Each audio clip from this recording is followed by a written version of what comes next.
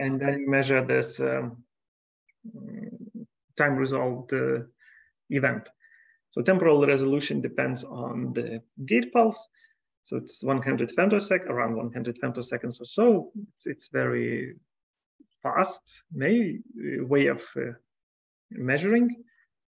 Uh, then you, once you generate the signal, upconversion signal, you block the fluorescence, you block the gate pulse, and you actually additionally use a prism to filter it, this wavelength out, uh, and you detect it with the detector. So it's a you, you what you measure is you measure only one uh, wavelength at a time, and as you can understand, the fluorescence is, is not really intensive usually.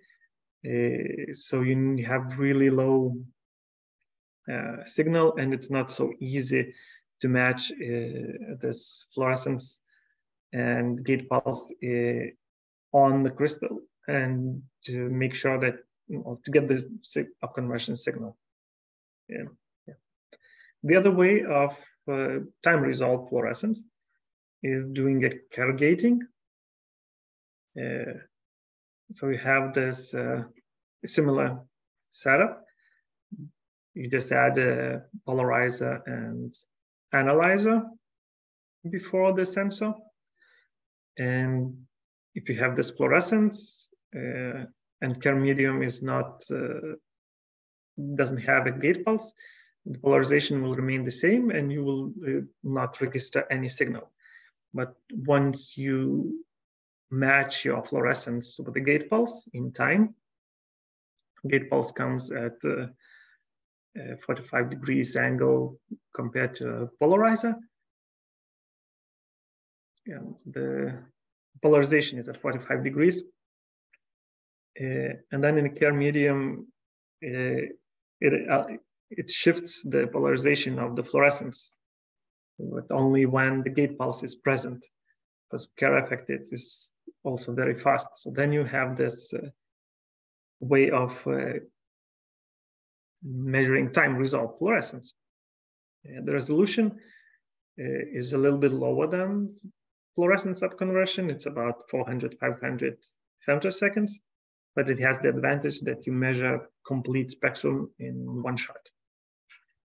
And yeah, and then it's easy to align because you just align in space uh, this signal, fluorescence signal and gate signal uh, once, and you have the system ready once if you have this fluorescence upconversion, it takes more time to align. So now let's see uh, the same examples. DCM dye measured in upconversion method. So it was, uh, the gate pulse was 1030 nanometers, it's a ytterbium line. Uh, it requires about 20 microjoule of the fundamental measured at 100 kilohertz, pumped at 430. So it's the same as it was with the time correlated single photon method, counting method. But now, instead of seeing the peak or at uh, 100 picoseconds, we see that it's actually an order of magnitude, two orders of magnitude shorter process. So you actually see that it peaks at around 900 uh, femtoseconds. So this, you can also uh, see that uh, the wavelength at which uh, which we measure upconversion wavelength is around 375. Uh, then we use a calculator to check that fluorescence wavelength well, according to fluorescence wavelength. What is also nice is that uh, the measurement is, is really um, has very good temporal resolution and you can see uh, the redshift uh, which hap- which happens over time. So it's initially the majority of uh, absorption peak uh, is at 590 nanometers, but it uh, after, after this time, it after two picoseconds, it redshifts to around 650 uh, nanometers. Yeah. And then it's uh, like everything happens relatively slowly, so there's no point in, in measuring a longer delay here. And now the same dye measured with the Kerr gating. Conditions are the same, everything is the same, but the time resolution is a little bit uh, lower. So we don't see as expressed redshift as we saw in fluorescence upconversion method, which is still, you can still indicate it. Yeah, so the, we measured that instrument response function and depicted it here. So it's, uh, it's about uh, 500, uh, 400, 500 uh, femtoseconds. Yeah, so this is uh, a little bit easier way of uh, doing time resolved uh, fluorescence. Okay, so let's go to one more way of doing uh, uh, ultra-fast spectroscopy. So to make matter more complex, you can add a flat beam. Uh, so you can have this situation when you pump your sample, and then after a certain time, you hit it with another beam, uh, which can cause to, the sample to be repumped. So you can measure the higher energy levels, or it can cause this sample to be dumped if you actually uh, shine at the sample with the same wavelength at, it, at which it emits the light. You stimulate the light, and then it's the sample just dumps all the energy and stops the reaction. So for such a method, you need another delay line. So this is uh, called a fed beam. Uh, you also obviously need uh, another OPA. So you need to have two OPAs to do it. Yeah. And then yeah, you can see the example here. It's the same DCM dye. Well, it's uh, it's fast, so it's interesting to study. Uh, so you can see that this, this first spectrum here uh, is a regular pump probe, but on the right spectrum, we add the dump pulse, which is at around 700 nanometers. You can see that the blue light shows that it emits the light. The absorption is uh, negative, so it emits the light at 700 nanometers. So if we hit at uh, this uh, sample, DCM sample, 21 picosecond, it's time delay with the 21 picosecond, we can stop the reaction which was happening inside of the DCM. So you, this graph on the right shows the difference of absorption from the first graph. So it means that after the sample receives dump pulse, the absorption, which was present at uh, 515 uh, nanometers or so, is decreasing. And uh, the emission is, since it was uh, dumped uh, with the with the same wavelength, is also decreasing. So these states are interconnected. So what's uh, interesting, as you can see, like from even from this graph, you can see that it's uh, inherently more noisy because you compare the difference in absorption with the, with itself, like in a different state. So it's more noisy.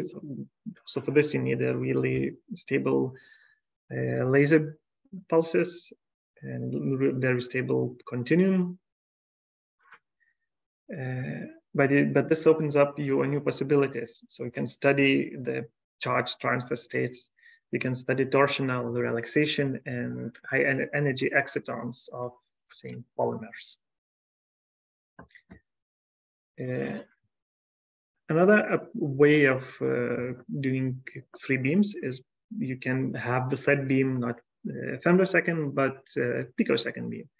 Picosecond is of narrow bandwidth, so you can have this stimulated Raman scattering. Uh, what how experiment goes? There's a, like a, yeah, the, the method is called the femtosecond stimulated Raman scattering. So how it goes so you excite the, so the sample with a femtosecond beam, and then you can measure this uh, Raman spectrum of your sample excited state, which is uh, a very nice uh, thing to study rotational vibrational dynamics. So at first, you your sample ha- arrives the femtosecond beam. It's called the actinic pump, and then you have narrow bandwidth uh, picosecond beam, which causes Raman pump. And the third beam is uh, femtosecond uh, probe beam, which uh, yeah, which records the Raman spectrum, on which the Raman spectrum is recorded. Yeah. So during yeah, so this measurement, you the data that you acquire the probe beam is is uh, the signal is red shifted. Yeah, so you measure it at longer wavelengths. Um, an example is shown here. So this is FSRS dynamics of uh, one of the beta carotene molecules, neoxanthin. Uh, so you can see the measured uh, ground state absorption, ground state uh, absorption, ground state uh, Raman. Uh, but then you can also measure the excited state and you can measure the development of uh, how it develops. So this allows you capturing uh, vibrational rather than electronic dynamics, uh, which is more interesting and allows better understanding of the reaction. Okay. Okay, so now we can go to the uh, the instrument itself. So I've covered like everything, all the add-ons that uh, are available with the Harpia TA, and we can just go through the instrument, how it looks, and uh, and how it works. Wait a moment.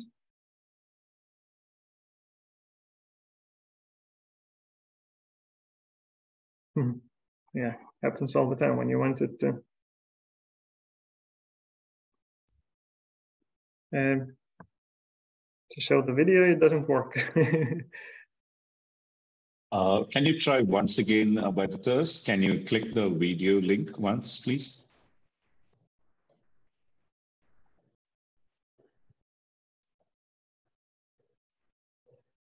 Okay.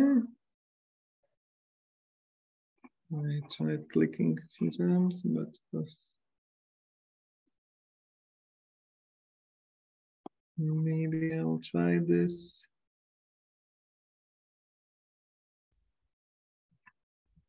Well, okay.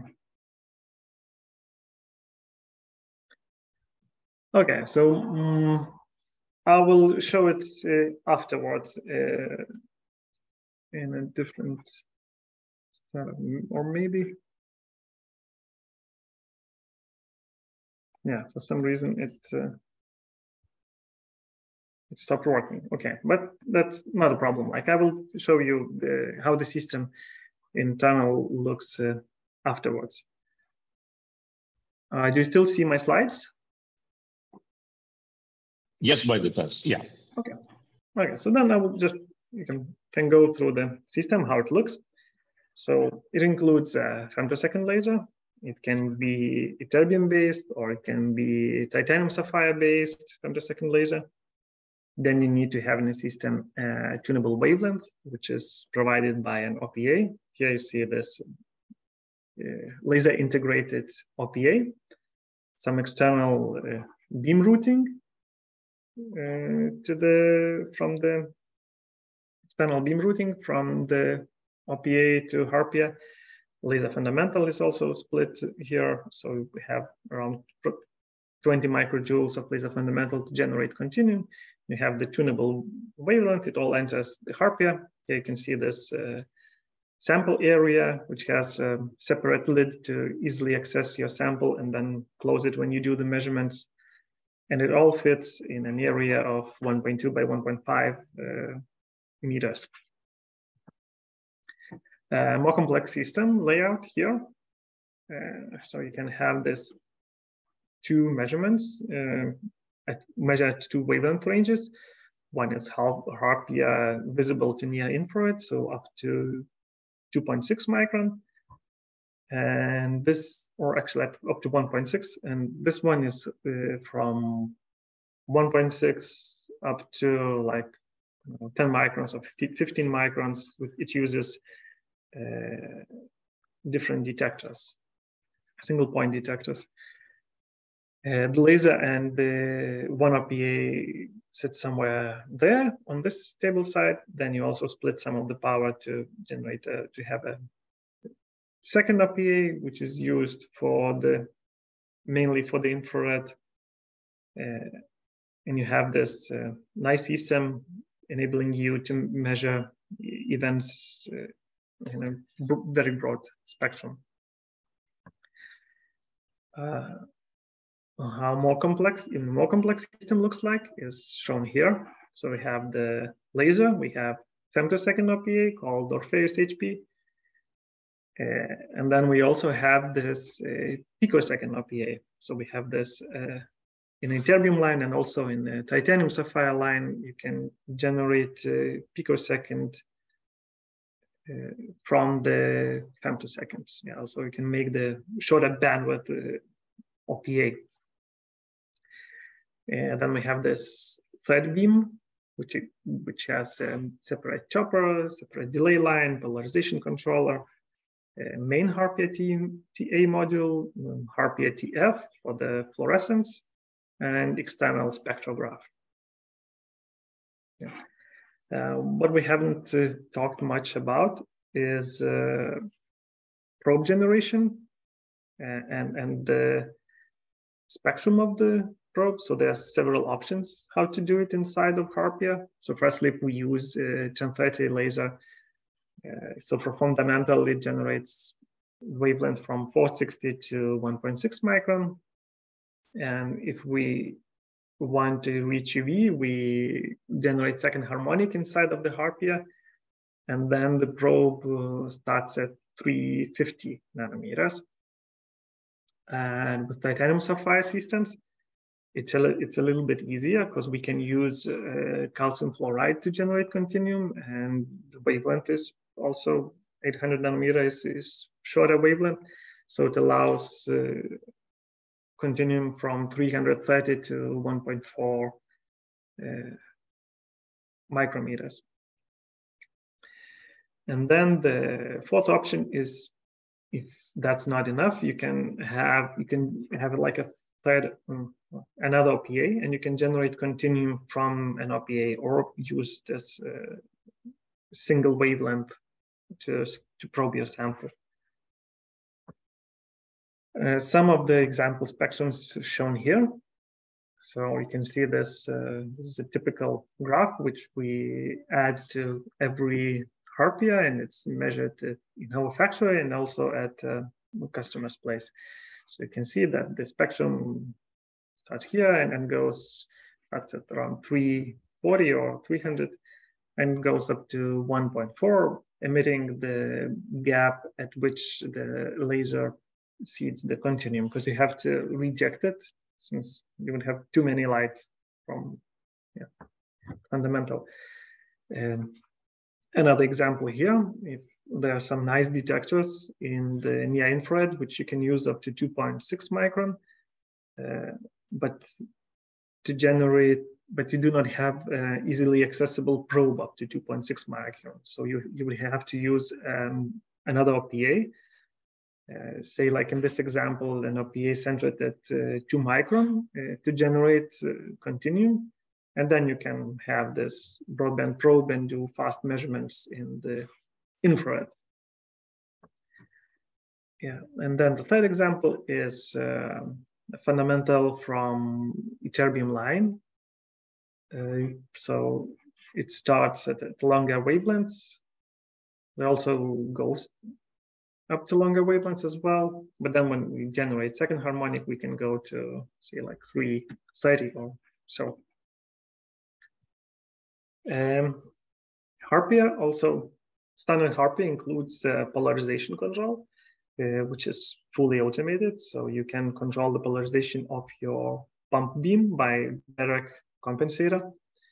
It also has the automated uh, sample translation stage, and you can control intensity uh, of the pump, of the probe, and of the signal to make sure your measurement is smooth. Uh, the sample area is around 20 centimeters by 20 centimeters. You can add the solid state or liquid samples, uh, transmission or reflection geometries. The ley line is a mechanical line. Uh, there are few two retroreflectors uh, where the light bounces back and forth of them. And this way we can reach up to eight nanoseconds. Some additional add-ons for the labs which do want to play as little with the lasers as possible. So we can add some automation. Uh, so for instance, here is a motorized uh, pump mirror. When you have some signal, you can uh, maximize it, uh, not by opening the OPA, but automatically in the software uh, with this motorized pump mirror. another add-on is active beam stabilization. It sits, it sits externally, so you can stabilize your, uh, if you know that your laser beam is not very directionally stable, you can optimize your laser fundamental. You can also optimize the beam direction from the OPAs, which is kind of a nice thing to do if you have the space and if you do not, if you want like the system to be more automated. So it includes uh, uh, two uh, motorized uh, mirrors and two quadrant detectors to detect uh, beam position at near field and at the far field. Uh, you can also have the sample area uh, add-ons like uh, cryostat. So you can fit a small cryostat inside of the sample area, and then you can measure uh, your sample at low temperatures. Also, we have this uh, sample stirrer to make sure that you are constantly pumping sample at uh, in a new uh, space and your like sample is stirred. If that's not enough, you can there's some additional port uh, which you can see uh, in the video uh, through which you can add your customizations like uh, peristaltic pump if you need it. We supply the system with the control software it has friendly user interface to control the laser, the OPA, and the spectrograph. Also, there are some examples how to integrate it with the LabVIEW or MATLAB. Uh, so it's uh, very user configurable. And then the second software is for data analysis. So you can do advanced data manipulation like slicing, merging, cropping, fitting the curves and we can do the data analysis in this uh, software. Yeah, so I'm going closer to an end. And then I will try to show you this video which uh, didn't show up. So we have this uh, uh, success stories and highlights. So the samples, the curves which I showed you uh, were like some simple things which are easy for us to measure and uh, because of accessibility and we do this to test uh, our system to test the new development. And here you can see some publications done with, the, with our system. So you can see this photoluminescence of quantum dot measured uh, it uh, was done by using two methods. One was uh, time correlated single photon counting for measuring um, long time events. And then the other one was measured by the upconversion to register a short time event. Uh, another method, nice uh, publication, is uh, transient absorption of perovskites, and you can see these uh, nice uh, variations, nice dynamics in measured with the with our system. So we also have a toolbox easy in our website, easily to convert uh, like uh, probe energy in electrovolts to nanometers or to uh, wave numbers. Uh, you can also find, uh, if you go to our website, if you go to applications, you can search publications uh, or just like mark some devices of ours and then search the publication. So it's a quite a large uh, publication database, which we are updating based on our uh, customers' uh, papers. Yeah, and that's pretty much it.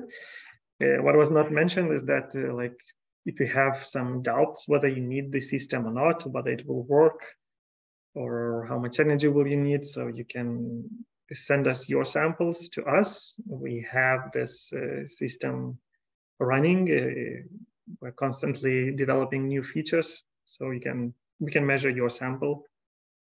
Yeah if you just yeah want it. Okay and so now i will probably try to show you this uh, i will stop sharing and i will try to show you the video which uh, was not shown for some reason didn't show up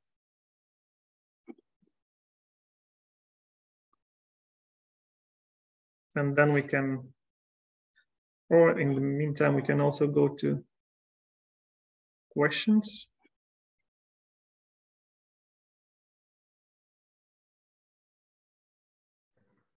Okay. Uh, so, so, yeah, we can check if we can answer quickly some questions, and then we can go to the videos as well.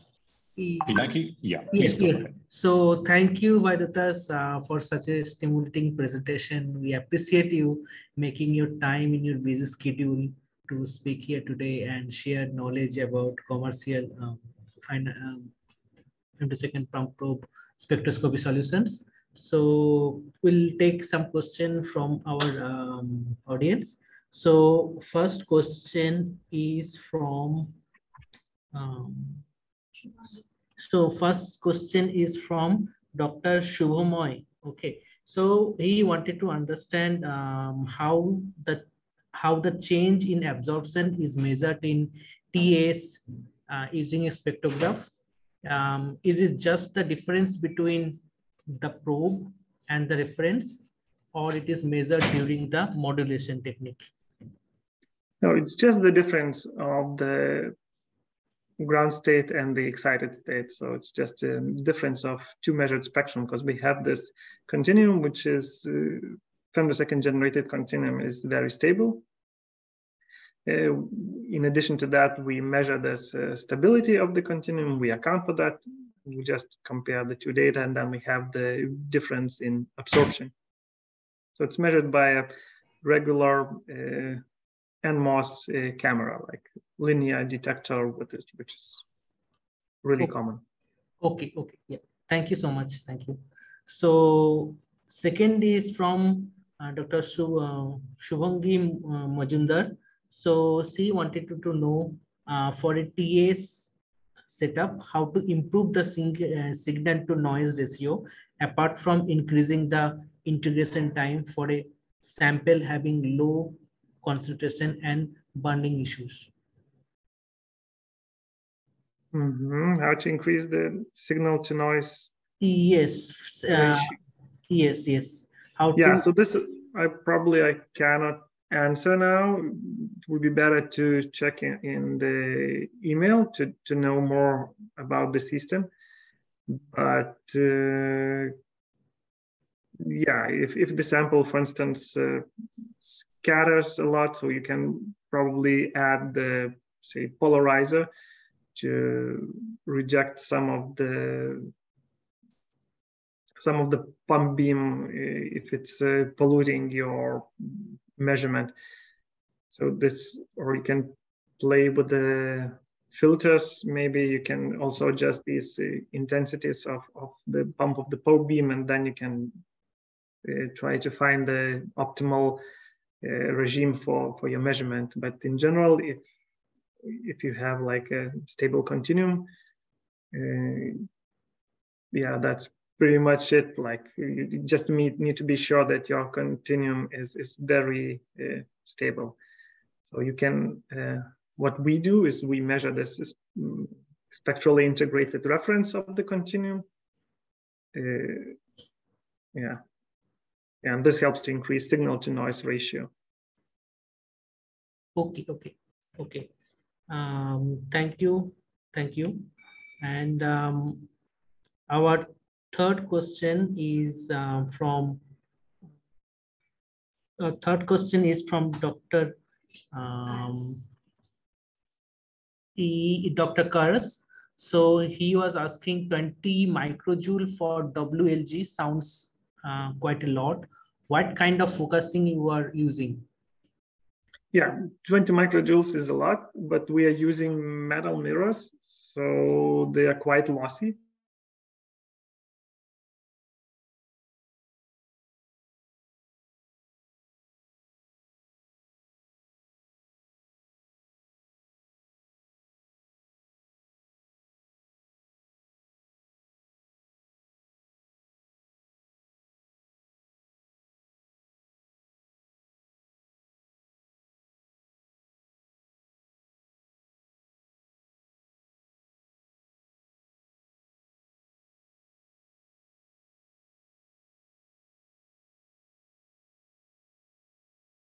From Dr. Salahuddin Khan from um.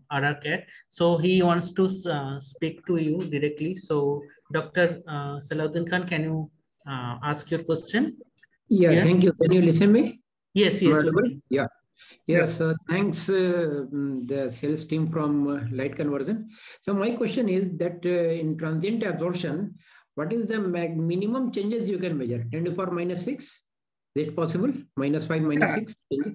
Yeah, it's possible. Probably, yeah, roughly around that. Yeah, with the you can see it in the it's in the micro OD.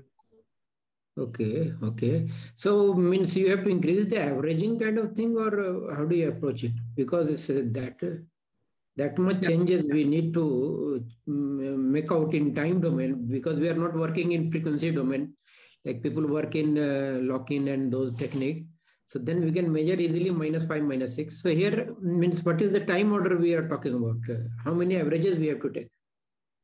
Yeah, so uh, I showed one graph uh, where we measured one uh, time point in uh, 13 seconds. So laser was working at uh, 100 kilohertz. Mm -hmm. that's roughly the idea. So is there any option of putting magnetic field also in your any of the setup? Magnetic field attachment something in magnetic filter attachments you mean that just to filter some of the... tesla or 1 tesla something we can put and do the measurements similar measurement uh, no, the sample area is uh, quite limited. It's 20 by 20 centimeters. So to do this, you would need to have the beam externally. We have this option. So we deliver the pump and probe beams via uh, construct a, a RAM to external area, then you can have your sample area as, as, as big as you want and, and as, as complex as you want. Mm-hmm. And then we can also help you, like if it's not too big, we can help you to collect the data from the sample area to the spectrograph. But mm-hmm. if you're good at uh, lasers and understand the optics, you can also do it yourself. So but this, in, oh, yeah, okay. In one of the setup, you are talking about low temperature measurement also. So um, is it possible to uh, put a superconducting magnet along with that uh, low temperature setup itself, something very small? Because that you are talking about, how, how low it can go? It's just like we do not uh, do this in measurements. It's end user customizations. So we only add the adapter, which is uh, actually adapter translatable in the focus uh, yeah, in, in the focus axis and you do with your sample area whatever you want to do. So if this fits inside, yeah, then you can measure it. But we do not do such measurements. In one of the setup, you talked about active beam alignment. One uh, piezo base that uh, uh, called mirror mount was there, in which you can realign the pump or probe beam according to our need. So when we change the wavelength, like when we use OPA or something, when we change the wavelength, sometimes it get misaligned. So what about that focusing place? Sometimes focusing place change. How do you counter that? So sometimes when you go from 400 nanometer to maybe 700 nanometer or 600, the focusing point changes because lens we are not going to change. So yeah. will it matter or uh, we'll go like that only and signal will?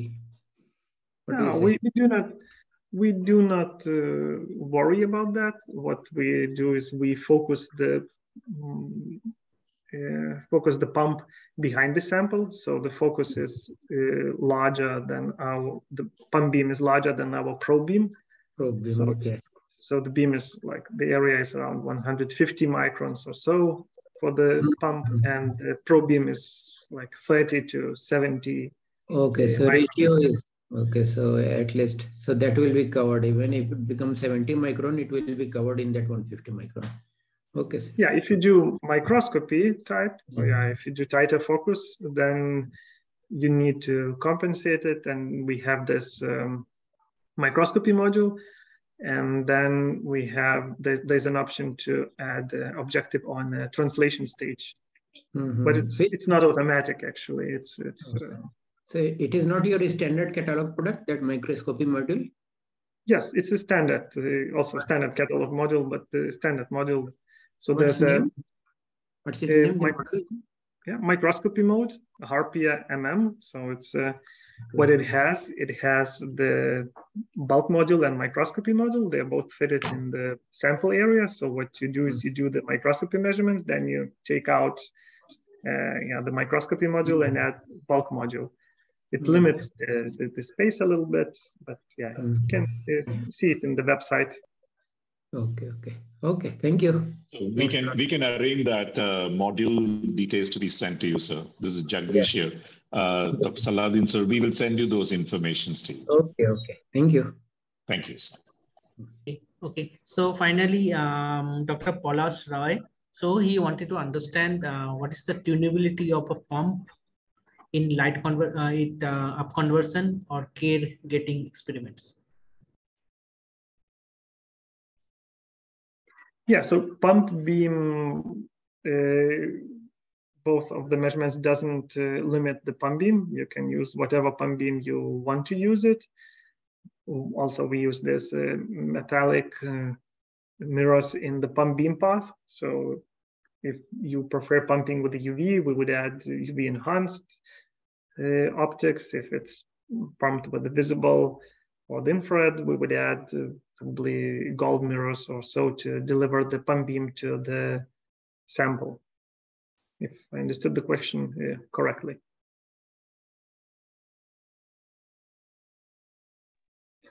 Yeah, I think that's a very uh, detailed description. Pinaki, I think uh, yeah. uh, it's already more than one hour and 45 minutes. Yes. So uh, probably we should have more questions, Vaidotas. We will send you those informations by email. Okay. Uh, it's a very fantastic presentation. I will ask Pinaki to give the vote of thanks and to all the participants today. Yeah.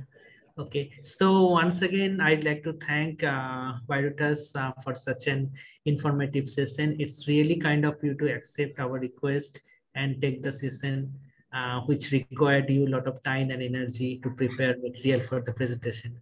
Um, we hope everyone attended the meeting would be able to carry their information useful to them in their um, respective fields. Uh, thank you once again, everyone, for attending the webinar. Um, I have come across, um, I, I, I think everyone has uh, the link for participant uh, participation certificate and uh, the participation certificate will be shared by you through email. If you have further queries, feel free to uh, contact us at sales at the rate laserscience.in and uh, hope to see you in another day with another session. With this note, we'd like to wind up this session.